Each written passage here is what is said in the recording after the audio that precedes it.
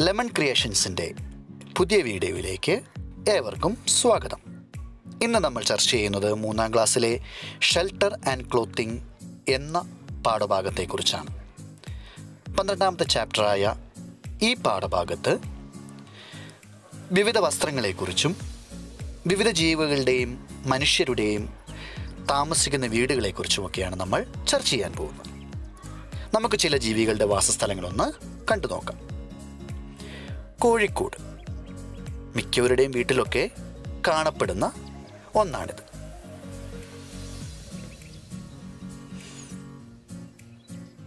രണ്ടാമതായി കാട്ടിലെ രാജാവായ സിംഹം. ഗുഹയിലാണ് സിംഹങ്ങൾ താമസിക്കുന്നത്. പട്ടി താമസിക്കുന്ന വാസസ്ഥലമാണ് പട്ടിക്കൂട്.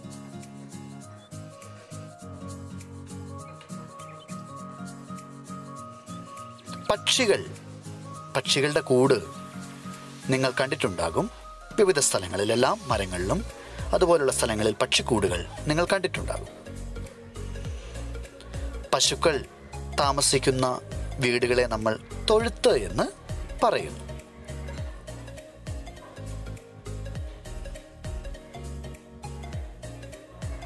ഇനി മനുഷ്യരുടെ വ്യത്യസ്ത തരം വീടുകൾ നമുക്കൊന്ന് കണ്ടു നോക്കാം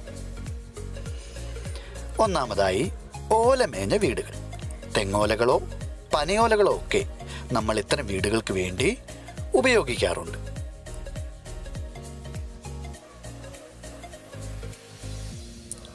രണ്ടാമതായി ഓടിട്ട വീടുകൾ. മിക്കവരുടെയും വീടുകൾ ഓടിമേഞ്ഞ വീടുകളായിരിക്കും. കളിമണ്ണ് കൊണ്ട് ഉപയോഗിക്കുന്ന ഓടുകളാണ് അതിന് നമ്മൾ ഉപയോഗിക്കുന്നത്. അടുത്തത് വാർക്ക അഥവാ കോൺക്രീറ്റ് വീടുകൾ മേൽക്കൂരകൾ സിമെന്റും കമ്പിയും ഉപയോഗിച്ച് വാർത്ത് ഉപയോഗിക്കുന്നു. പുല്ലുമേഞ്ഞ വീടുകൾ ഉണക്കപ്പുല്ല് ഉപയോഗിച്ച് വൈക്കോൽ എന്നൊക്കെ വിളിക്കുന്ന ഉണക്കപ്പുല്ലിന്റെ സഹായത്തോടു കൂടി മേൽക്കൂര മേയുന്ന വീടുകളാണ് പുല്ല് വീടുകൾ. ടെന്റുകൾ താൽക്കാലിക വാസത്തിന് വേണ്ടി ഉപയോഗിക്കുന്ന ഷെൽട്ടർ അഥവാ വീടിനെയാണ് ടെന്റുകൾ എന്ന് പറയുന്നത്. ഷീറ്റ് കൊണ്ടോ തുണി കൊണ്ടോ ഒക്കെ ടെന്റുകൾ നമുക്ക് നിർമ്മിക്കാവുന്നതാണ്. അടുത്തതായി ഏറുമാടും. വന്യമൃഗങ്ങളുടെ ആക്രമണങ്ങളിൽ നിന്നും മറ്റും രക്ഷപ്പെടുന്നതിന് വേണ്ടി മരങ്ങളുടെ മുകളിൽ സ്ഥാപിക്കുന്ന ചെറിയ വീടുകളെയാണ് ഏറുമാടങ്ങൾ എന്ന് വിളിക്കുന്നത്. ബാംബു കോക്കനട്ട് ലീവ്സ് എന്നിവയൊക്കെ ഉപയോഗിച്ച് ഇത്തരം വീടുകൾ നിർമ്മിക്കാൻ കഴിയും. അടുത്തതായി നമ്മൾ കാണാൻ പോകുന്നത് മഞ്ഞ് വീടുകളെയാണ്. ഇഗ്ലൂ ഹൗസുകൾ. എന്നാണ് വിളിക്കപ്പെടുന്നത്.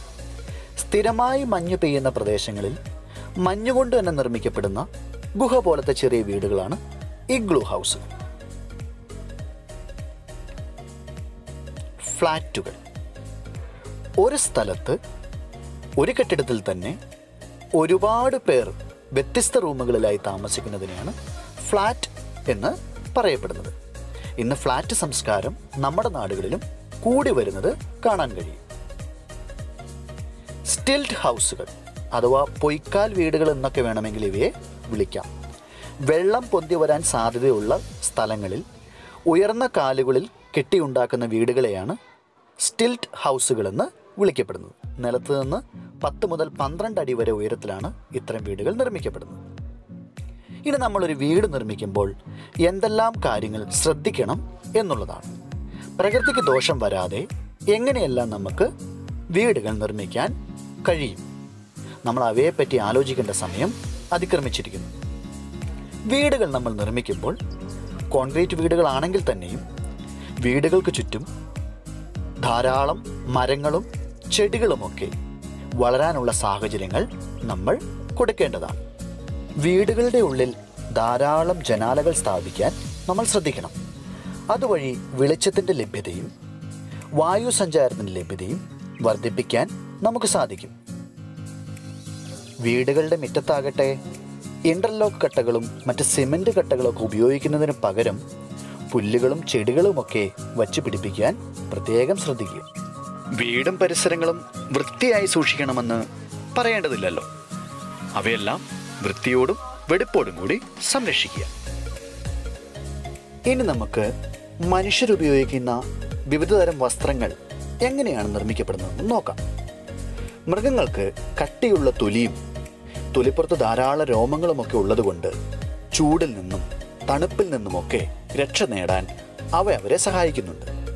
എന്നാൽ മനുഷ്യരെ ചൂടിൽ നിന്നും തണുപ്പിൽ നിന്നുമൊക്കെ രക്ഷ നേടാൻ സഹായിക്കുന്നത് വസ്ത്രങ്ങളാണ്. ഈ വസ്ത്രങ്ങൾ നിർമ്മിക്കപ്പെടുന്നതാകട്ടെ മിക്കവയും മൃഗങ്ങളിൽ നിന്ന് തന്നെയാണ് താൻ ചെമ്മരിയാടിന്റെ രോമം ഉപയോഗിച്ചാണ് നമ്മൾ തണുപ്പിൽ നിന്ന് രക്ഷ നേടുന്നതിനുള്ള കമ്പിളി പുതപ്പുകൾ നിർമ്മിക്കുന്നത്. രോമം കത്രിക ഉപയോഗിച്ച് വെട്ടിയൊടുക്കുകയും അത് കമ്പിളി ഉടുപ്പ് നിർമ്മിക്കുന്നതിന് വേണ്ടി ഉപയോഗിക്കുകയും ചെയ്യുന്നു. പരുത്തിച്ചെടി കോട്ടൺ വസ്ത്രങ്ങൾ നിർമ്മിക്കുന്നതിന് പരുത്തിച്ചെടിയിൽ നിന്ന് കിട്ടുന്ന പഞ്ഞിയിൽ നിന്നുണ്ടാക്കുന്ന നൂലുകളാണ് ഉപയോഗിക്കുന്നത്.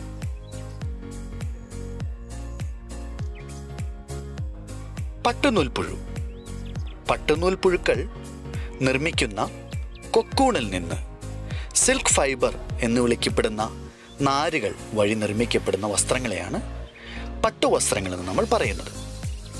പട്ടുനൂൽ പുഴുക്കൾ മൾബറി ചെടിയുടെ ഇല തിന്നാണ് സാധാരണ ജീവിക്കുന്നത്. അങ്ങനെ ഈ കുഞ്ഞധ്യായം ഇവിടെ അവസാനിക്കുകയാണ്. നിങ്ങളുടെ അഭിപ്രായങ്ങളും നിർദ്ദേശങ്ങളും കമന്റ് ബോക്സ് വഴി ഞങ്ങൾക്ക് അയച്ചു തരിക. മറ്റൊരു പുതിയ പാഠവുമായി നമുക്ക് വീണ്ടും കാണാം. Thank for watching